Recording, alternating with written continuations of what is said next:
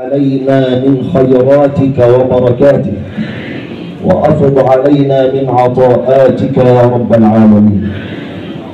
أحباب الحبيب النبي صلى الله عليه وسلم إن الحج فريضة تتجلى فيها كل مظاهر التيسير وإن من أعظم مظاهر التيسير في الحج أن الله سبحانه وتعالى فرضه على المستطيع.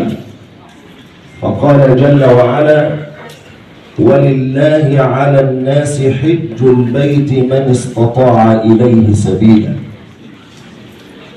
ومن تجليات التيسير في حج بيت الله الحرام أن الله عز وجل فرضه في العمر مرة واحدة. فها هو النبي صلى الله عليه وسلم يقول في الحديث أيها الناس إن الله فرض عليكم الحج فحجوا.